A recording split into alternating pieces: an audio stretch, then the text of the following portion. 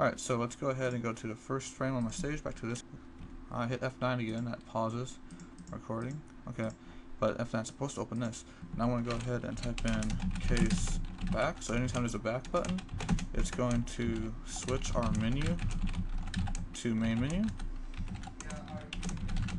Just like this, add a break, go ahead and save it, go ahead and test this with Scaleform Launcher, and now this will open up, you can click settings, there we go, and I'm going to hit back, and I'll do that, and now we need to create a wrapper function so that we can uh, we can give Flash the initial resolution that way the settings manager knows what's up before our player does anything. So first we have to create a wrapper function for action for Unreal Script to call, and that's already being called, and it's called set resolution by string.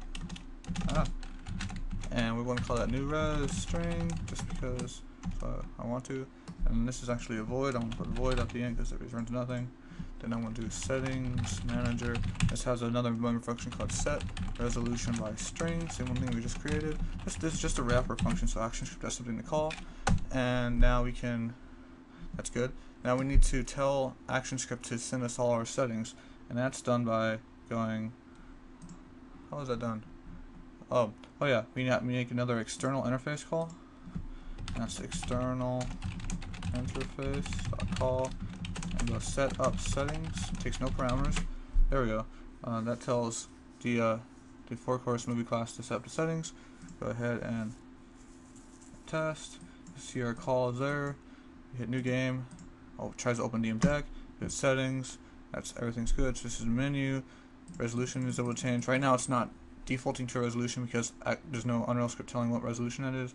Then we can hit back and then we can hit exit and that's not doing anything so let's go ahead and rig that up. So I'm going to put that for settings, case, exit and that's just going to be another external external interface call. It's just going to be flash to console and this is going to be quit. Quits our game. Pretty simple, right? Break. Go ahead and test this.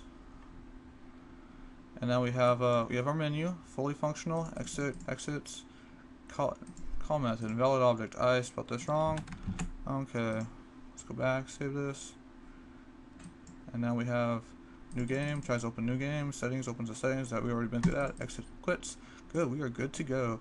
Now we need the cursor, go ahead and I'm to import a picture I got going on, import to library. I already have a cursor, already set up and cursor is really easy. I want to delete the symbol it makes, but keep the cursor thing. Go to properties, change the linkage settings so that it fits right. Lawless, uh, lossless, loss smoothing. Go ahead and drag this on here. Convert this to a movie clip. I'm to call this cursor and hit OK. And that's really, really, really big. So I'm going to go ahead and scale this down. There we go. Down on the first frame. I keep hitting F9 which pauses my movie. I'm going to hit actions. And then I'm going to go just anywhere really start drag cursor and underscore MC, that's what I'm gonna call it, and true. Now this now I have to name the instance of this cursor movie clip to cursor MC. Hit save, hit test. We should have a cursor that follows us around. There we go, and we're good. We can go ahead and publish this and bring it onto Unreal. Um, next video is the Unreal side of things.